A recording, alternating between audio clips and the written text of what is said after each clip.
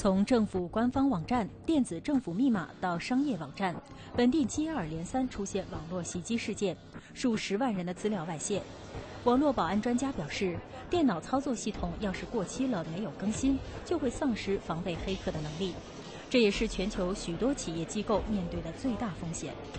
You're talking about this from airport terminals to kiosks in the malls to all the way down into, you know, the um, tax ID offices or whatever. A lot of those uh, systems are housing credit card information and, and customer client information, and they're running old operating systems such as the expired Windows XP operating systems. Those are very vulnerable systems, unfortunately, that it's going to take a while to upgrade and update to make them more secure, and the, the attacking community is focusing their attention on that right now. 专家也指出，黑客伎俩层出不穷。网络保安科技其实在某个程度上是在和黑客上演猫抓老鼠的游戏，要万无一失，不能单靠科技。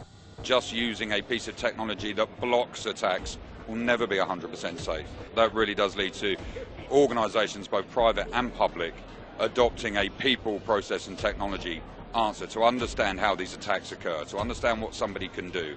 而随着流动通讯设备的普及化，云端服务像 iCloud 给用户带来了极大的便利，可以随时随地跨平台同步储存图片、视频、联络号码等重要数据。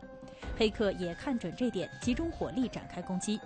美国本月初爆发的大规模影星裸照泄露事件，怀疑就是有黑客通过苹果公司 iCloud 储存服务的漏洞，侵入好莱坞女星的苹果手机，大肆盗取了储存在内的各类不雅照片和视频，之后在网上发布。It's an easy target for them to say, let me instead of trying to get into one little location and weed my way through the internal, I can go out to the cloud service and try and attack it so I can get access to everything, whether it's private information or client information or just corporate information.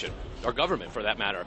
苹果公司调查后发现，影星的 iCloud 用户名、密码和安全问题设置的不够精密，让黑客猜透，才有机会进行定向攻击。There's a lot of applications that would share credentials or, or, access controls into that maybe cloud-based service. I mean, you look at the uh, iTunes account, you know, I, I can access that and upload uh, different ways to that information, but with one single username and password. So if I attack that one iPhone, that has that credential, could I get up into that? 这也提醒广大的智能手机用户，避免为所有重要账号设置同样密码，也应该尽量避免将高度私密的个人信息放到云端服务上。